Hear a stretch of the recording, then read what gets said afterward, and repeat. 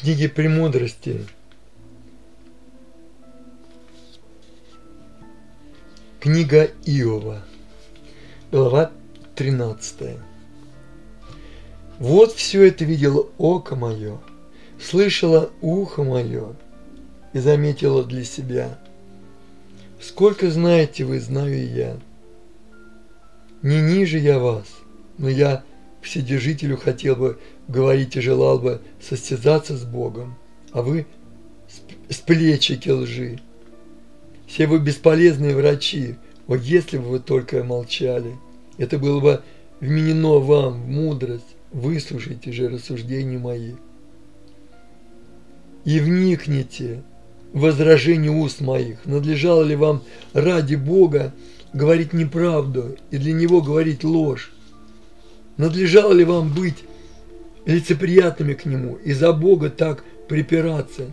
Хорошо ли будет, когда Он испытает вас? Обманете ли Его, как обманывает человек? Строго накажет Он вас, хотя вы и скрытно лицемерите. Неужели величие Его не устрашает вас и страх Его не нападает на вас? Напоминание ваше – подобны пеплу, а плоты ваши, а плоты глиняные. Замолчите передо мною, я буду говорить, чтобы не постигло меня. Для чего мне терзать тело мое зубами моими, душу мою полагать в руку мою? Вот он убивает меня, но я буду надеяться, я желал бы только отстоять пути мои пред, ли, перед лицем его. И это уже в оправдании мне, потому что лицемер не пойдет пред лице его, Выслушайте внимательно слово мое и объяснение мое ушами вашими. Вот я завел судебное дело, знаю, как буду прав. Кто в состоянии оспорить меня, ибо я скоро умолкну и отпущу дух, и испущу дух. Двух только вещей не делай со мною, и тогда я не буду укрываться от лица твоего. Удали от меня руку твою, и ужас твой, да не потрясает меня. Тогда зови, я буду отвечать, или буду говорить я, а ты отвечай мне. Сколько у меня пороков и грехов, покажи мне беззаконие мое, грех мой. Для чего скрываешь лице твое и считаешь меня врагом тебе? Не сорванный ли листок ты сокрушаешь, и не сухую или соломинку преследуешь, и вот и пишешь на меня горько и вменяешь мне грехи юности моей и ставишь в колоду ноги мои, и подстерегаешь все стези мои, гонишься по, след, по следам ног моих, а он, как гниль, распадается, как одежда, изъеденная молью. Глава 14. Человек, рожденный женою, краткодневен и пресыщен печалями. Как цветок он выходит и опадает, убегает, как тень, и не останавливается и на него-то ты отверзаешь очи твои, и меня ведешь на суд с тобою. Кто родится чистым от нечистого, не один.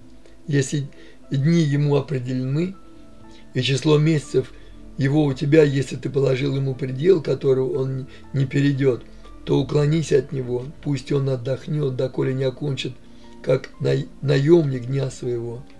Для дерева есть надежда, что оно, если будет срублено, снова оживет, и отрасли от него выходить не перестанут.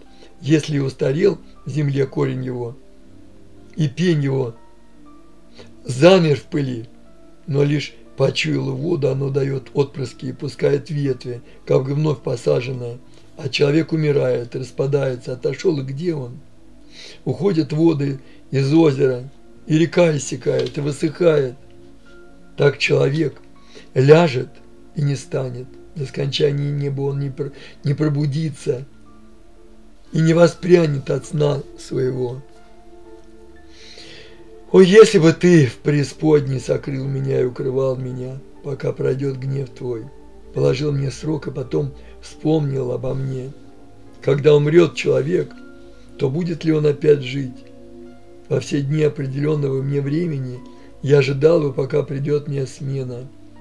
Возвал бы ты, я дал бы тебе ответ, и ты явил бы благоволение творению рук твоих.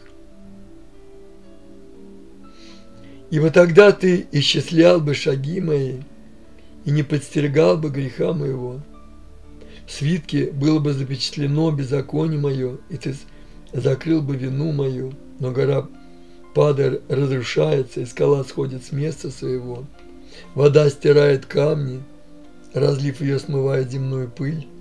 Так и надежду, надежду человека ты уничтожаешь. Теснишь его до конца, и он уходит. Изменяешь ему лицо и отсылаешь его.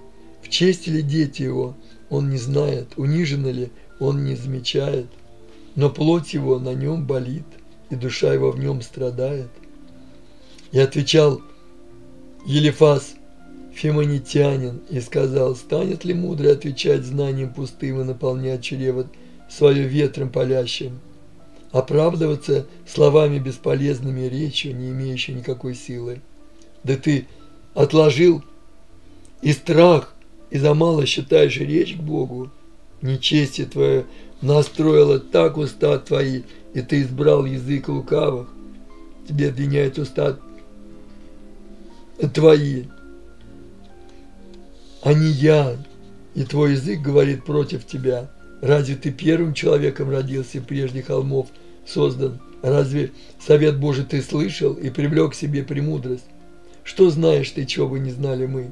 Что разумеешь ты, чего бы не было бы у нас? И, и седовласый, и старец есть между нами, днями превышающий отца твоего. Разве мало для тебя утешения Божие? Это неизвестно тебе, к чему порывает тебя сердце твое? И к чему так гордо смотришь, что устремляешь против Бога дух твой, устами твоим произносишь такие речи? Что такое человек, чтобы быть ему чистым, и чтобы рожденному женщину быть праведным? Вот он и святым своим не доверяет, и небеса нечистые в очах его, тем больше нечист и растлен человек, пьющий беззаконие, как воду. Я буду говорить тебе, слушай меня, я расскажу тебе, что видел, что слышали мудрые и не скрыли слышанного от отцов своих, которым одним отдана была земля, и среди которых чужой не ходил. Нечестивый мучит себя во все дни свои, и число лет закрыто от притеснителя. Звук ужасов в ушах его, среди мира идет на него губитель, он не надеется спастись от тьмы, видит при собой меч – он скитается за куском хлеба повсюду, знает, что уже готов, в, рукав, в руках у него день тьмы. Устрашает его нужда и теснота, одолевает его как царь, приготовившийся к битве, за то, что он простирал против Бога руку свою и противился Вседержителю. Устремлялся против него с, гордую выею под толстыми щитами своими – потому что он покрыл лицо свое жиром своим и, об, и обложил туком лядви свои. И он селится в городах, разоренных домах, которых не живут, которые обречены на развалины. Не прибудет он богатым, и не уцелеет имущество его, и не, распро... не распрострется по земле приобретение его, не уйдет от тьмы, отрасли его и сушит пламя, и дуновением у своих увлечет его. Пусть не доверяет суете заблудшей, ибо суета будет и воздаянием ему. Не в свой день он скончается, и вет его не будут зеленеть. Сбросит он, как виноградная лоза, недозрелую ягоду свою, и как маслина стряхнет цвет свой. Так опустеет дом нечестивого, и огонь пожрет шатры мздоимства. Он зачал зло и родил ложь, и утробу его приготовляет обман глава 16. Отвечал Иов и сказал, «Слышал я много такого, жалки утеш... утешьте ли все вы? Будет ли конец ветреным словам? И что побудило тебя так отвечать? И я мог бы так, так же говорить, как вы, если бы душа ваша была на месте души моей. Ополчался бы на вас словами и кивал бы на вас головой моею, подкреплял бы вас языком моим и движением губ утешал бы. Говорю ли я, не утоляется скорбь моя, перестаю ли, что отходит от меня, но ныне он изнурил меня, ты разрушил всю семью мою, ты покрыл меня морщинами, во свидетельство против меня. Восстает на меня изможденность моя, в лицо укоряет меня. Гнев его терзает и враждует против меня, скрежещет на меня зубами своими, неприятель мой, острит на меня глаза свои. Разинули на меня пасть свою, ругаясь бьют меня по щекам. Все сговорились против меня, предал меня Бог беззаконнику, и в руки нечестивым бросил меня. Я был спокоен, но он потряс меня, взял меня за шею, избил меня и поставил меня целью для себя.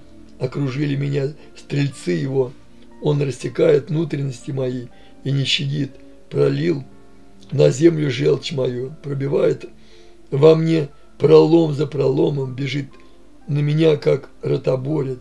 В ретище шил я на кожу мою и в прах положил голову мою, лицо мое побагровело от плача, и на веждах моих тень смерти, при всем том, что нет хищений в руках моих, и молитва моя чиста. Земля, не закрой моей крови, и да не будет места воплю моего, и ныне вот на небесах свидетель мой и заступник мой вышних. Многоречивые друзья мои, к Богу слези тока мое. О, если бы человек мог иметь состязание с Богом, как Сын Человеческий с ближним своим, ибо летам моим приходит конец, и я отхожу в путь невозвратный.